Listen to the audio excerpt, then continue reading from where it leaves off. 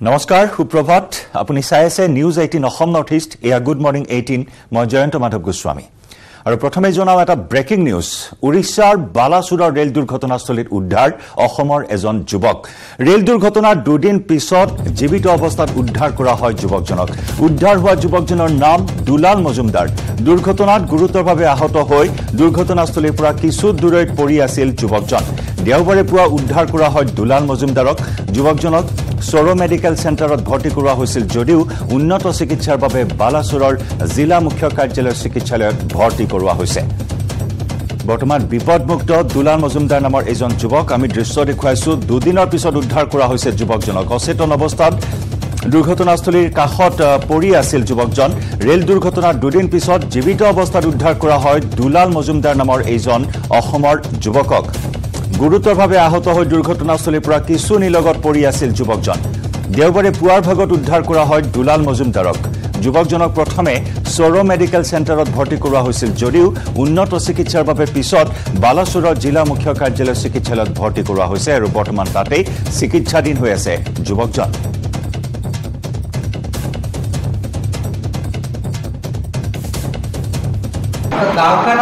मेरा नाम दूलाल मजुमदार आप लोग को उधार करने कितना टाइम हुआ उस टाइम पाँच बजे उधर उधर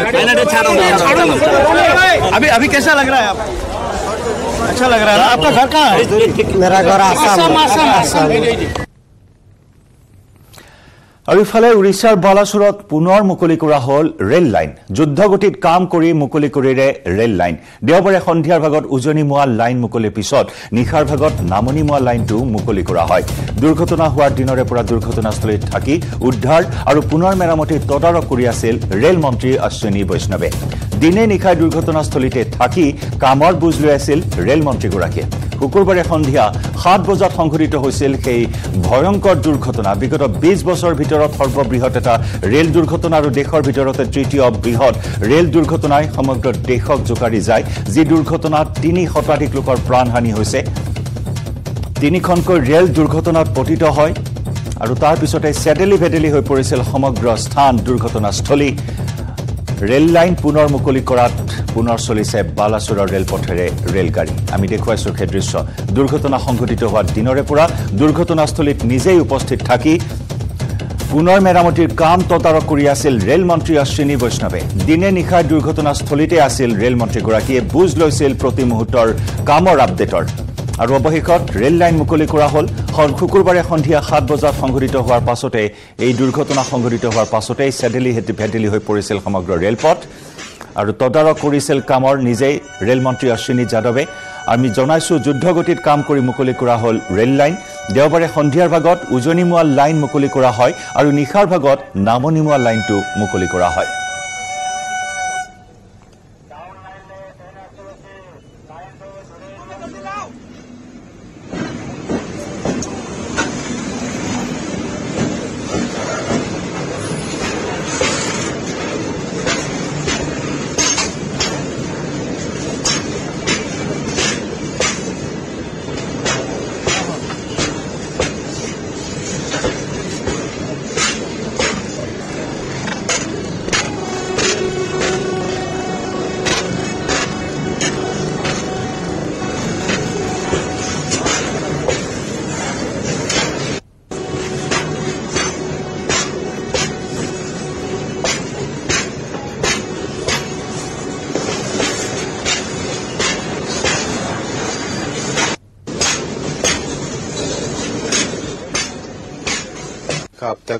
तीन गाड़ियाँ जा चुकी है।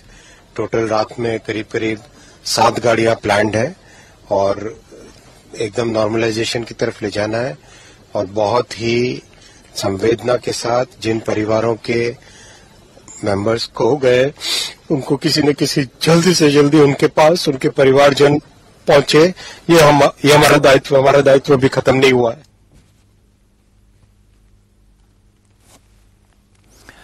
ইফালে চি বি আইক উৰিষ্যাৰ ৰেল দুৰ্ঘটনাত তদন্তৰ দায়িত্ব অৰ্পণ। ঘোষণা কৰিলে ৰেলমন্ত্ৰী অশ্বিনী বৈষ্ণৱে। চি বি আইক তদন্তৰ দায়িত্ব দিয়াৰ আহ্বান জনাইছিল ৰেলৱে বোৰ্ডে। ইতিমধ্যেই সম্পূৰ্ণ হৈছে উদ্ধাৰ অভিযান। আনহাতে হাস্পতালত চলি আছে দুৰ্ঘটনাত আহত যাত্ৰীৰ চিকিৎসা। শুকুৰবাৰে সন্ধিয়া সাত বজাত সংঘটিত হোৱা এই ভয়ংকৰ ৰেল দুৰ্ঘটনাৰ তদন্তৰ দায়িত্ব চি বি আইৰ হাতত অৰ্পণ কৰা হৈছে। এই কথা ঘোষণা কৰে কেন্দ্ৰীয় ৰেলমন্ত্ৰী অশ্বিনী বৈষ্ণৱে। চি বি আইক তদন্তৰ দায়িত্ব দিয়াৰ আহ্বান জনাইছিল ৰেলৱে বোৰ্ডে। ইতিমধ্যেই সম্পূৰ্ণ হৈছে উদ্ধাৰ অভিযান আনহাতে হাস্পতালত চলি আছে দুৰ্ঘটনাত আহত যাত্ৰীৰ চিকিৎসা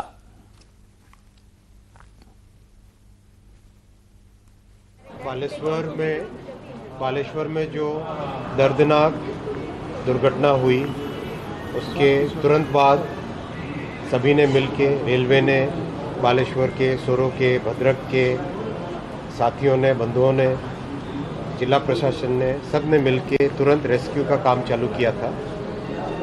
रेस्क्यू के साथ साथ रेस्टोरेशन का काम कंप्लीट रेस्क्यू कंप्लीट होते होते रेस्टोरेशन का काम भी साथ चलने लगा। और अभी जिस तरह से तेज़ी से काम चल रहा है, दो लाइन करीब करीब जो मेन लाइन है, उसमें पटरी का काम कंप्लीट हो गया है, ऊपर बिजली के तार का और बाकी सब चीज़ों का काम चल रहा है।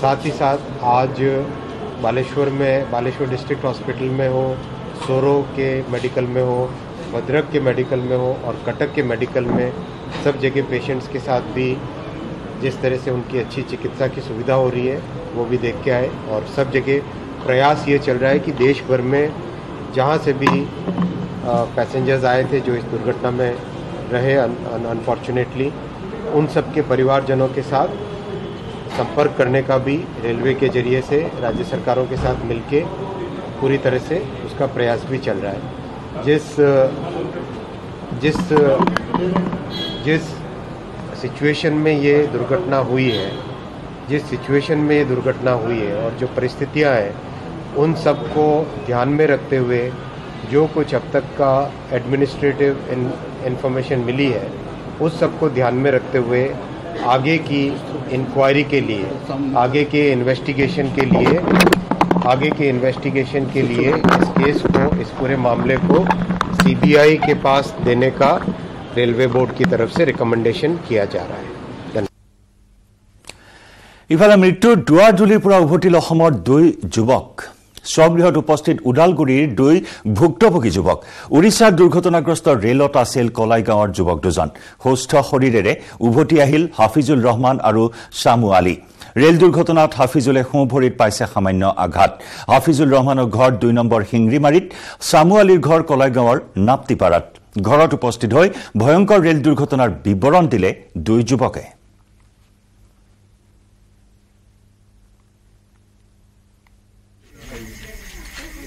ঘটনা হৈছে এইটোতো ক'ব নোৱাৰো কিন্তু যিখিনি জানো সেইখিনি ক'ম। ঠিক আছে আমি সাতটা পঁয়ত্ৰিশত মোবাইল টিপি আছিলো। মোবাইল টিপোতে সাতটা ছয়ত্ৰিশতে ট্ৰেইন পাল্টি। কি হ'ল তাৰমানে গম নাপালো। অট'মেটিক চাওঁ ট্ৰেইন খালি যাই আছে নিচত। নিচত বেছি নিচত নহয় দহ ফুট মান নিচত পৰিছে আৰু। পৰি খানে চাওঁ আমাৰ তলত যোনগিলা আছে সেইগিলা মই লাচৰ ওপৰত পৰি আছিলো। পৰি থাকোঁতে ইয়াক মাতি আছো মই। ই চাওঁ ইফালেদি ওলাই আহিছে। পিছত মই ইফালেদি ওলাইছো। চাওঁ দুনীয়াৰ তলত লাছ কেইটামানত ওপৰত উঠাই খানে চাওঁ আমিও নাৰ্ভাছ হৈ গৈছো। তাৰপিছত ক'লো চৌ ইয়াৰ পৰা ইয়াৰ পৰা যাওঁগৈ। ইয়াতে থাকিলে আমিও যামগৈ। তাৰ পৰা ওলাই আহি সেইকাৰণে ট্ৰেইন ৰাস্তাত দহ মিনিটমান বহি পানী দিলা মানুহে। পানী চানী খালোঁ। খাই খানে বাছ বাছ ষ্টেণ্ডত গ'লোঁ। বাছ ষ্টেণ্ডৰ পৰা হাওৰা গ'লোঁ। হাওৰাৰ পৰা বাছ ইফালে আহি গৈছোঁ। কেইটা বজাত হৈছিলে ঘটনাটো? আনুমানিক সময়? অনুমানিক সোমাই সাতটা ছয়ত্ৰিশত। সাতটা ছয়ত্ৰিশত। অ, মই মোবাইল চাই আছিলোঁ। চাই খানে চাৰ্জত লগাইছোঁ মোবাইলটো বাছ। পাল্টি দিন কি কি তোমাৰ এৰি থৈ আহিলে তাত? মোবাইল কেনেকে? মোবাইল কেনে মোবাইল চাৰ্জত আছিল এটা মোবাইল বেগত আছিল। পিছত বেগো নাপালো মোবাইলো নাপালো। লাষ্ট এইবিলাক কিমান চাব। পিছত তাৰ পৰা ওলাই খানে বাছ আহি গৈছো। কেইখন ট্ৰেইন আছিলে? যিখন ট্ৰেইন বিপৰীত দিশৰ পৰা গৈছিল কেনেকুৱা ধৰণৰ এক্সিডেণ্টটো হ'ল? এক্সিডেণ্টটো হা- উম, হাওৰা এক্সপ্ৰেছে মাৰিছিল। পিছত মালগাড়ী আছিল মাজত আমি আছিলো হুম। আমাৰ দুটা ডাব্বাত মাৰছি আৰু। আমি যোনটো ডাব্বাত আছিলো সেইটো ডাব্বাত মাৰি আমাক পেলাই দিছে। আপোনাৰ এক্সপ্ৰেছখনৰ নাম কি আছিলে আহি থকা? আহি থকা এক্সপ্ৰেছখন বেংগলোৰ এক্সপ্ৰেছ। হাওৰালৈ আহিল হয়? হাওৰালৈ আহিলে। তাৰপিছত? তাৰপিছত আৰু কি আমি তাৰ পৰা আহি গলো আৰু ইফালে। পিছত হাওৰা আহিছো হাওৰা আহি কেনে তাৰ পৰা পুলিচ মাতি লৈ কেনে আমাক কিবা বেজি দিলা এটা। এই অলপ বেণ্ডেজ কৰি দিলা। পিছত ক'লো সিহঁতক ছাৰ আমাৰ পইচা নাই আমি ঘৰত কেনেকৈ যাম? পিছত তেন্তে একো নকলা। পিছত তাৰ পৰা আহি কেনে ইয়াত তাত চাওঁ এক হাজাৰ টকা আছিল। পিছত টিকেট কাটিলোঁ চাৰিচকীয়া আঠশ টকা। পিছত গুৱাহাটীলৈ। গুৱাহাটীলৈ এইখিনি আহিছোঁ। তাৰ পৰা আহি কেনে মংগলদৈ আহি পাইছোঁ আৰু দুইশ টকালৈ। পিছত আৰু পইচা শেষ পিছত আমাৰ এটা ভাই আছিল সি আহি আছিল ঘৰত। সি মাত দি কেনে আমাক উঠাই লৈ আহিছে। এতিয়া ঘৰ পাইছা? কেনেকুৱা। লাগিছে এতিয়া? এতিয়াতো কি ক'ম আৰু বহুত ভাল লাগিছে। পইচা কিমান লৈ আহিছিলা তোমালোক আহোঁতে? আহোঁতে ধৰক বিছ হাজাৰ মান। বিশ হাজাৰ মান। মোবাইল দুটা আছিল। ওড়িশাৰ ৰেল দুৰ্ঘটনাত আহত হোৱা বিশ্বনাথৰ ৰূপক দাসৰ ঘৰত স্বাস্থ্যমন্ত্ৰী কেশৱ মহন্ত। পৰিয়ালৰ লোকক সাক্ষাৎ কৰি পৰিস্থিতিৰ বুজ ললে স্বাস্থ্যমন্ত্ৰীগৰাকীয়ে। ইতিমধ্যে অসম চৰকাৰে প্ৰেৰণ কৰা বিষয়াৰ দল উপস্থিত হৈছে ওড়িশাৰ বালাচৰত। ইপিনে ঘৰৰ চোতালৰ পৰাই আহত ৰূপকৰ লগত ফোনযোগে কথা পাতিলে মন্ত্ৰী কেশৱ মহন্তই। সকলো ধৰণৰ সহায়ৰ লগতে চিকিৎসা সেৱা আগবঢ়াব বুলি প্ৰতিশ্ৰুতি দিয়ে মন্ত্ৰীগৰাকীয়ে। চিকিৎসকৰ পৰামৰ্শৰ ভিত্তিত অসমলৈ উভতাই অনা হ'ব ৰূপকক। অসমৰ আন এজন ভুক্তভোগী যুৱক ৰেলযাত্ৰী ৰূপক দাস। ৰূপক দাসে গুৰুতৰভাৱে আঘাতপ্ৰাপ্ত হৈছে সেই ভয়ংকৰ ৰেল দুৰ্ঘটনাত। ৰূপক দাসৰ পৰিয়ালবৰ্গৰ সৈতে মত বিনিময় কৰে স্বাস্থ্যমন্ত্ৰী কেশৱ মহন্তই। পৰিয়ালৰ লোকক সাক্ষাৎ কৰি পৰিস্থিতিৰ বুজ লৈছে। অসম চৰকাৰে প্ৰেৰণ কৰিছে বিষয়াৰ দল। ইতিমধ্যে উপস্থিত হৈছে উৰিষ্যাৰ বালাচুৰত। ঘৰৰ চোতালৰ পৰাই আহত ৰূপকৰ সৈতে ফোনযোগে কথাও পাতিলে মন্ত্ৰী কেশৱ মহন্তই। আৰু সকলো ধৰণৰ সহায়ৰ লগতে চিকিৎসা সেৱা আগবঢ়াব বুলি প্ৰতিশ্ৰুতি দিলে মন্ত্ৰীগৰাকীয়ে। চিকিৎসকৰ পৰামৰ্শৰ ভিত্তিত অসমলৈ উভতাই অনা হ'ব ৰূপকক। সকল গৈছে আমাৰ ৰণবীৰ বৰা আৰু ডক্টৰ আলম। গতিকে তোমাক কি কথা বতৰা পাতিব এতিয়া তাত। কথা বতৰা পাতি তাৰ ডাক্তৰৰ লগত পাতিব লাগে প্ৰশাসনৰ লগত পাতিব লাগে। পাতি তুমি যদি আহিব পৰা হৈ আছা লৈ আহিব। বা যদি বেলেগ ঠাইত কিবা আকৌ ভালকৈ তোমাক ট্ৰিটমেণ্ট কৰাব লাগে সেইটোও কৰাব। গতিকে তোমালোকে এতিয়া আলোচনা কৰি লোৱা। অঁ ভালকে কৰি লোৱা। এতিয়া আৰু নিশ্চিন্ত ঘৰৰ মানুহ পাইছাগে গৈ আৰু। দেই। অঁ হয় ঠিক আছে।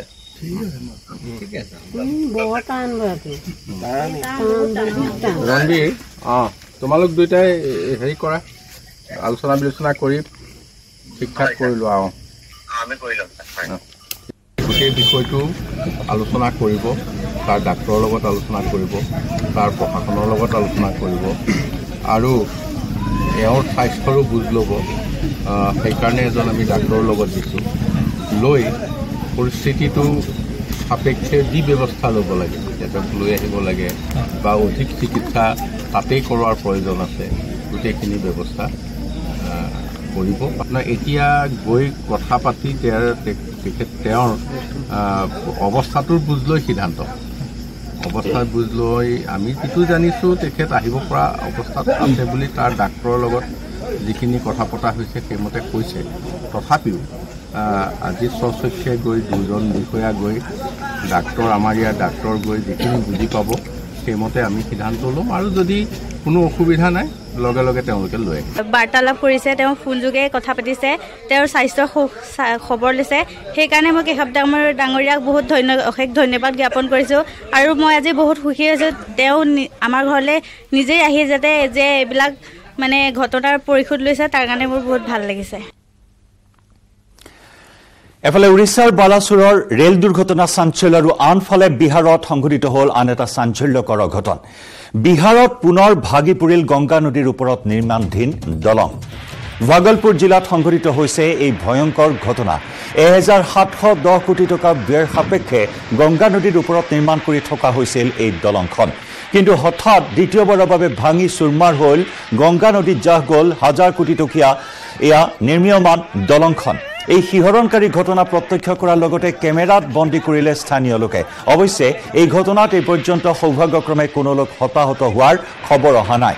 উল্লেখযোগ্য যে দুহেজাৰ বাইছ চনত ত্ৰিছ এপ্ৰিলতো ভাঙি পৰিছিল দলংখনৰ এটা অংশ। ইপিনে এবছৰ এমাহ পিছত পুনৰ নিৰ্মাণাধীন দলংখন ভাঙি চুৰমাৰ হোৱাত এতিয়া প্ৰশ্ন উত্থাপন হৈছে নিৰ্মাণকাৰী প্ৰতিষ্ঠানৰ ওপৰত। এই ঘটনাৰ ইতিমধ্যে তদন্ত ঘোষণা কৰিছে বিহাৰৰ মুখ্যমন্ত্ৰী নীতিশ কুমাৰে। লগতে এই কাণ্ডৰ বাবে দায়ীসকলক চিনাক্ত কৰিবলৈ নিৰ্দেশ দিছে মুখ্যমন্ত্ৰীগৰাকীয়ে। উল্লেখযোগ্য যে চলিত বৰ্ষৰ শেষৰ ফালে মুকলি হোৱাৰ কথা আছিল এই দলংখন কিন্তু হঠাৎ দলংখন ভাঙি গংগা নদীত জাহ যোৱাত হতচকিত হৈ পৰিছে সৰ্বসাধাৰণ জনতাৰ লগতে ৰাজনৈতিক নেতাসকলো।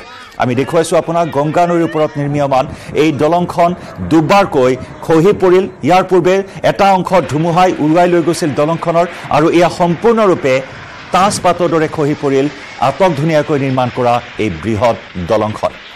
দুটাকৈ গুৰুত্বপূৰ্ণ স্থানক সংযোগ কৰিছিল। এই দলংখনে বা সংযোগ কৰাৰ কথা আছিল।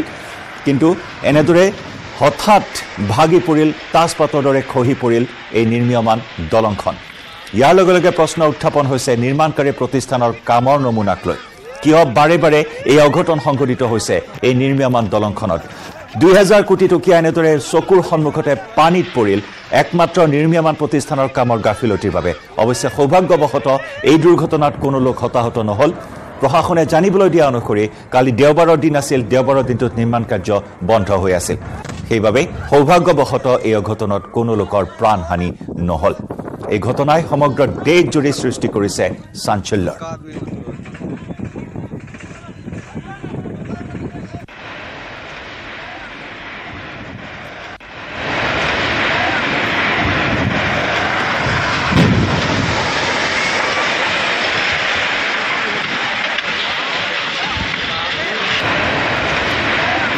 দুহেজাৰ চৈধ্য চনত এই দলংখনৰ আধাৰশিলা স্থাপন কৰিছিল মুখ্যমন্ত্ৰী নীতিশ কুমাৰে। আৰু দুহেজাৰ চৈধ্য চনৰ পৰা নিৰ্মাণ কাৰ্য চলি আছে এহেজাৰ সাতশ দহ কোটি টকাৰ বাজেট এই দলংখনৰ। দুহেজাৰ বাইছ চনৰ ত্ৰিছ এপ্ৰিলতো ধুমুহাই ভাঙি পেলাইছিল দলংখনৰ এটা অংশ আৰু তাৰ পিছত পুনৰ এনে এক অঘটন সংঘটিত হ'ল। সম্পূৰ্ণৰূপে দলংখন তাজপাতৰ দৰে চকুৰ সন্মুখতে খহি পৰিল। প্ৰায় দুই হাজাৰ কোটীয়া দুই হাজাৰ কোটি টকীয়া দলংখন পানীত পৰিল চকুৰ সন্মুখতে।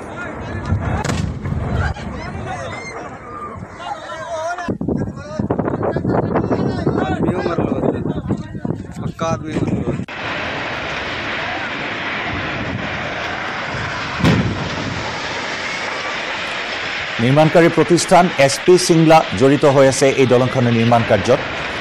এছ পি চিংলাৰ কামৰ নমুনাক লৈ মুহূৰ্তত প্ৰশ্ন উত্থাপন হৈছে। আটক ধুনীয়াকৈ নিৰ্মাণ কৰা এখন দলং বাৰে বাৰে কিয় এনেদৰে ক্ষতিগ্ৰস্ত হৈছে? তাকে লৈ প্ৰশ্ন উত্থাপন কৰিছে বিহাৰৰ মুখ্যমন্ত্ৰী নীতিশ কুমাৰে তদন্তৰ কথা ঘোষণা কৰিছে। এই কামত গাফিলতি কৰা সকলো বিষয়া জালত পৰিব বা বিহিত ব্যৱস্থা গ্ৰহণ কৰা হ'ব বুলি ঘোষণা কৰিছে বিহাৰৰ মুখ্যমন্ত্ৰীগৰাকীয়ে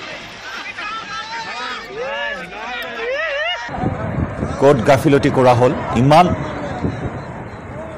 ব্যয়বহুল এখন দলং নিৰ্মাণ চলি আছে নিৰ্মাণ কাৰ্য চলি আছে। ক'ত গাফিলতি কৰা হ'ল তাকে লৈ সকলোৱে প্ৰশ্ন এই মুহূৰ্তত উত্থাপন কৰিছে। শিহৰিত এটা দৃশ্য শিহৰণকাৰী এটা দৃশ্য। প্ৰত্যক্ষদৰ্শীয়ে কেমেৰাত বন্দী কৰিছে এই দৃশ্য। চকুৰ সন্মুখতে চকুৰ প্ৰচাৰতে তাজপাতৰ দৰে খহি পৰিল প্ৰায় দুই হাজাৰ কোটি টকীয়া নিৰ্মীয়মান এই দলংখন।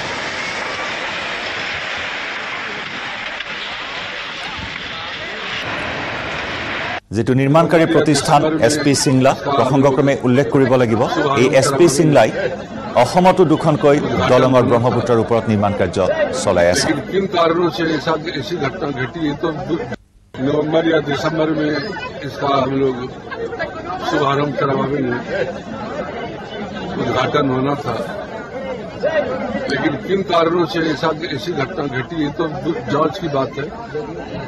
एक टेक्निकल बात है। इसमें एक्सपर्ट से जाँच होगी और पूर्ण पूर्ण जानकारी ली जाएगी। और जो भी दोषी होंगे दंडित होंगे इसमें तो रहेंगे हम इसमें कहना चाहते हैं कि इसकी पूरी जाँच जब तक नहीं होती, देखिए, हम लोग टेक्निकल एक्सपर्ट करेंगे कुछ तो गड़बड़ी है, इसमें तो रह नहीं उसका जाँच कराया जाएगा एक्सपर्ट टीम से काहे ऐसा हुआ है। नीयत में जब खोट हो तो नीति कैसे सफल हो? बिहार के मुख्यमंत्री जी आप इसी भ्रष्टाचारियों के साथ गलबहियाँ किए थे 2014 में भी। और एक बार पुल सुल्तानगंज के तरफ़ गिरा था और आज पुल खगड़िया के तरफ़ गिरा। कई पुल पूर्णिया में भी गिरा। बिहार के अंदर ये कमीशन खोड़ी की प्रथा गुणवत्ता विहीन काम और आपके मानसिकता, राजनीतिक और अस्थिरता के कारण प्रशासनिक रजकता भ्रष्टाचार चरम पर है, जिसकी परिणति दिखाई पड़ रही है। है हिम्मत। न्यायिक जांच कराएंगे या सीबीआई से जांच कराएंगे बड़े बड़े घोटाले का परिणाम है कि आज व्यवस्था चरमरा रही है গুড মৰ্ণিং এইটিনত আমি খবৰৰ ধাৰা অব্যাহত ৰাখিম সময় হৈছে এটা চমু বাণিজ্যিক বিৰতিৰ কেৱল ষ্ট্ৰং নহয় অ' ৰাকেশ দা ক'ত গ'ল মাইথান ষ্টীল নিৰ্মাণৰ মানদণ্ড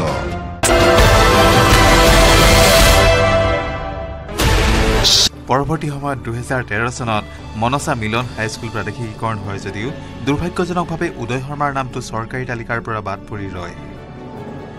ইয়াৰ পিছতো বুকুত এটা আশা লৈ বি এড আৰু এম এ ডিগ্ৰীধাৰী উদয় শৰ্মাই সুদীৰ্ঘ বাৰ কিলোমিটাৰ চাইকেল চলাই শিক্ষাদান কৰি আহিছিল। পিছে উদয় শৰ্মাৰ প্ৰতি কাহানিও সদয় নহল ৰোজাঘৰীয়া বিনা বেতনে কৰ্তব্য পালন কৰি অৱশেষত বিদ্যালয়খনৰ পৰা বিদায় ললে এই দুৰ্ভগীয়া শিক্ষকগৰাকীয়ে। শুকুৰবাৰে বিদ্যালয় কৰ্তৃপক্ষই জনালে বিদায় সম্বৰ্ধনা। বিদায় বেলাত নিজৰ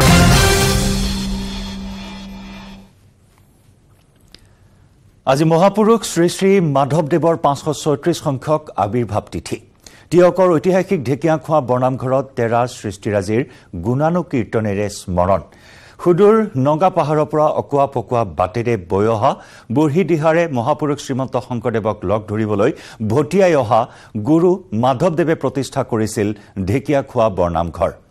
পুৱাই খোলতাল দবা শংখৰ ধ্বনিৰে মুখৰিত হৈ উঠিছে ঢেকীয়াখোৱা বৰনামঘৰ।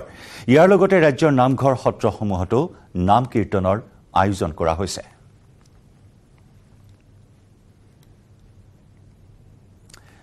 এই মুহূৰ্তত আমি পোনপটীয়া সম্প্ৰচাৰত সংযুক্ত হৈছোঁ ঢেকীয়াখোৱা বৰনামঘৰৰ পৰা আমাৰ সাংবাদিক দিগন্ত হাজৰিকাৰ সৈতে। দিগন্ত গুৰুজনাক আজি আৱিৰ্ভাৱ তিথিত সকলোৱে স্মৰণ কৰিছে নাম কীৰ্তনৰ আয়োজন কৰিছে ঢেকীয়াখোৱা বৰনামঘৰত এই মুহূৰ্তত কেনেকুৱা পৰিৱেশ? আপোনাৰ জৰিয়তে দেখুৱাওক আহ,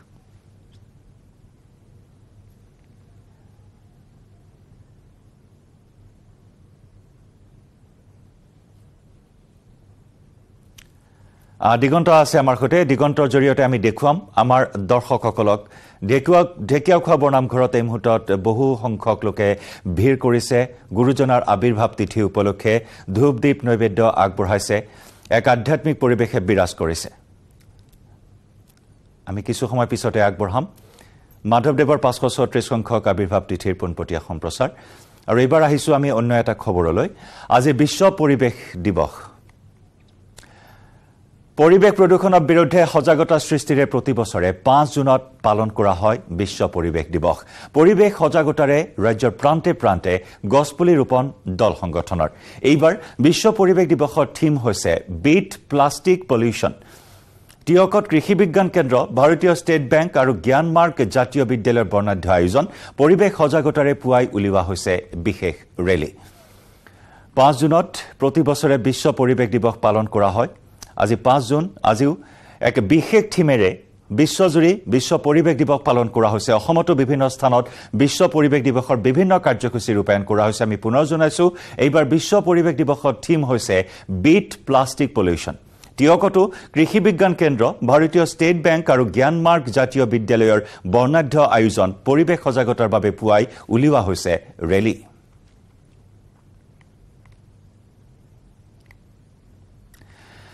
টিয়কৰ পৰা আমাৰ সাংবাদিক দিগন্ত হাজৰিকাৰ সৈতে সংযুক্ত হৈছো পোনপটীয়া সম্প্ৰচাৰত। দিগন্ত বিশ্ব পৰিৱেশ দিৱসৰ বিভিন্ন কাৰ্যসূচী টিয়কতো ৰূপায়ণ কৰা হৈছে। আমি সবিশেষ জানিব বিচাৰিম। নিশ্চয়কৈ জয়ন্ত আজি বিশ্ব পৰিৱেশ দিৱস ইতিমধ্যে আপুনি অৱগত কৰিছে প্লাষ্টিক এৰো পৰিৱেশ ধৰো পৰিৱেশ গঢ়ো। এই আচলতে শ্লোগানেৰে আজি ৰজাগৰেই হওক বা সৰ্বত্ৰ আজি বিশ্ব পৰিৱেশ দিৱস উদযাপন কৰিছে। আৰু সমান্তৰালভাৱে জয়ন্ত আজি কিন্তু মহাপুৰুষ শ্ৰী শ্ৰী মাধৱদেৱৰ তিৰুভাৱ তিথি অত্যন্ত পবিত্ৰ দিন। আৰু এই দিনটোত মই তিয়কৰ এটা পৰিৱেশ দেখুৱাইছো যিটো পৰিৱেশে সকলোকে আপ্লুত কৰিব। কণ কণ শিশুসকলে আজি হাতে হাতে প্লে কাৰ্ড লৈ বিশ্ব পৰিৱেশ দিৱসৰ যি আচলতে তেওঁলোকে আজিৰ দিনটোৰ যি তাৎপৰ্য সেই তাৎপৰ্য ৰাইজক বুজাই দিব বিচাৰিছে। সমান্তৰালভাৱে যোৰহাটৰ তিয়কৰ যি আচলতে জ্যোতি প্ৰতাপ জ্ঞানমাৰ্গ বিদ্যালয় এই বিদ্যালয়খনে ইতিমধ্যে বৰ্ণাঢ্য শোভাযাত্ৰা বাহিৰ কৰিছে। আৰু ইয়াৰ মূলতে হৈছে যে সচেতনতা অনা সজাগতা অনা সকলোৰে মাজত যাতে পৰিৱেশ থাকিলে যে পৰিৱেশ সুস্থিৰ থাকে আচলতে সকলোৰে মংগল হৈ থাকিব এই কথাটো সকলোৰে মাজত আচলতে প্ৰচাৰ কৰিবৰ কাৰণে তেখেতসকলে এই এনেধৰণে সজাগতা বাহিৰ কৰিছে। মই অকণমান আপোনাৰ ওচৰলৈ আহিছোঁ। আহ, কি ক'ব? খুব সুন্দৰকৈ আজি কৃষি বিজ্ঞান কেন্দ্ৰ আৰু জাতীয় বি- জ্ঞান মাৰ্গ বিদ্যালয় এই বাহিৰ সজাগতা বাহিৰ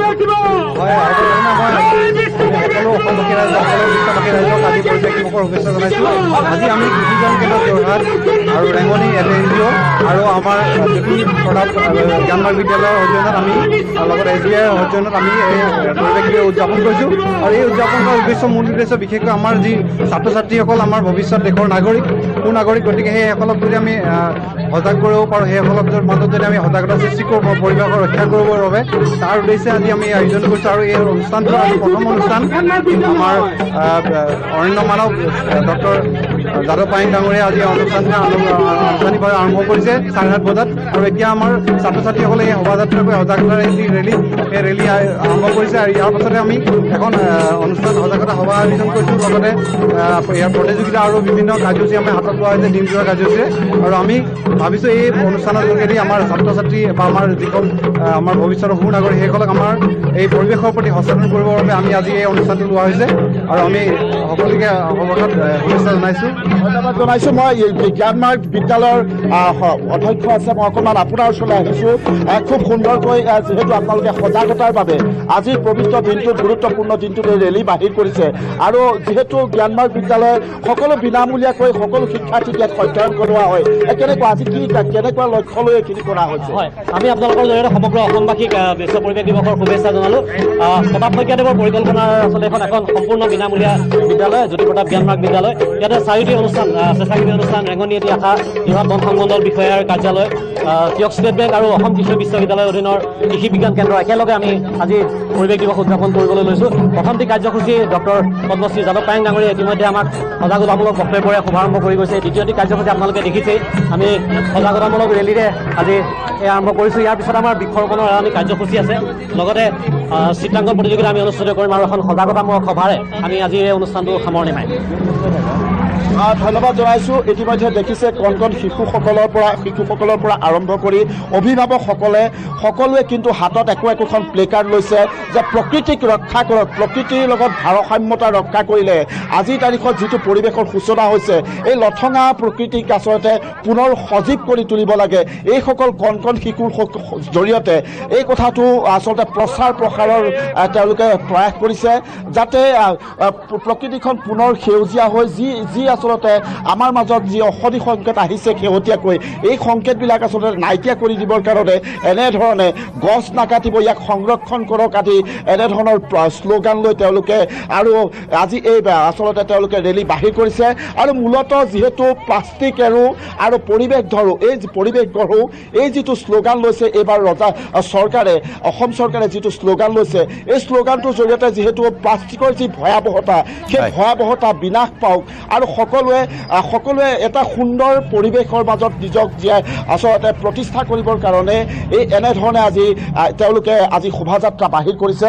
আৰু এটা জয়ন্ত উল্লেখ কৰিব লাগিব যে আজিৰ তাৰিখত কিন্তু যি আচলতে কভিড সৃষ্ট যিটো পৰিৱেশ আহিছিলে কভিড কালৰ পৰা কিন্তু অসমত এই পৰিৱেশটো আহিছে যিটো আচলতে পৰিৱেশ সকলোৰে কাৰণে কাম্য যে সকলোৰে আজিৰ দিনটোতে নহয় আজিৰ তাৰিখত কিন্তু গছ পুলি ৰোৱাৰ যিটো গুৰুত্ব বা যিটো আচলতে প্ৰয়োজনীয়তা এই কথাখিনি কিন্তু সকলোৱে আজিৰ তাৰিখত মৰ্মে মৰ্মে উপলব্ধি কৰিছে। আৰু আৰু এটা কথা চাওক জয়ন্ত আজি যিটো আচলতে আমাৰ যে শেহতীয়াকৈ যিটো পৰিৱেশ সূচনা হৈছে আজি তাপমাত্ৰা গৰমৰ গ্ৰীষ্ম বন্ধ আচলতে গৰমৰ প্ৰভাৱত স্কুল বিদ্যালয়সমূহো আজি পুৱাই সাত বজাৰ পৰা আৰম্ভ কৰি দিছে। এনেকুৱা পৰিৱেশৰ সূচনা হৈছে কিয় হৈছে? সেই প্ৰশ্নটোৱে কিন্তু আজি ৰাইজক কিন্তু বাৰুকৈ উপলব্ধি কৰাইছে। আৰু ইয়াৰ মূলতে হৈছে। যাতে আমি পৰি- পৰিৱেশ সংৰক্ষণ এটা গধুৰ দায়িত্ব প্ৰতিগৰাকী নাগৰিকৰ আৰু তাৰে সজাগতা সৃষ্টিৰ বাবে আজি বিশ্ব পৰিৱেশ দিৱস পালন কৰা হৈছে। পৰিৱেশৰ প্ৰতি অহা ভাবুকিসমূহ কেনেদৰে ৰোধ কৰিব পাৰি তাৰ সজাগতাৰ সৃষ্টি কৰা হৈছে আৰু কণ কণ ছাত্ৰ ছাত্ৰীসকলে এই শোভাযাত্ৰাত অংশগ্ৰহণ কৰি প্লাষ্টিক বৰ্জন কৰি পৰিৱেশ সংৰক্ষণ কৰাৰ আহ্বানেৰে বা বাৰ্তাৰে এই শোভাযাত্ৰাত অংশগ্ৰহণ কৰিছে। ধন্যবাদ জনাইছো দিগন্ত আপোনাক। আৰু ইয়াৰে সৈতে সময় হ'ল গুড মৰ্ণিং এইটিনৰ পৰা বিদায় লোৱাৰ।